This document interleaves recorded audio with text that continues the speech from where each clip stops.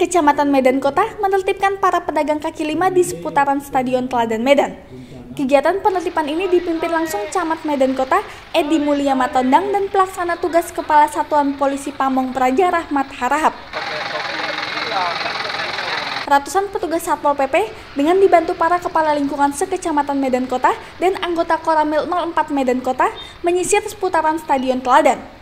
Tindakan ini dilakukan atas laporan masyarakat yang mengeluh sering kali terjebak macet karena menjamurnya pedagang kaki lima.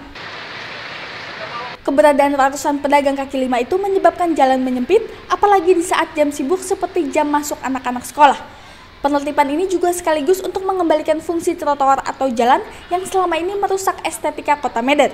Saat ini juga Medan Kota sedang melaksanakan program Medan Berhias.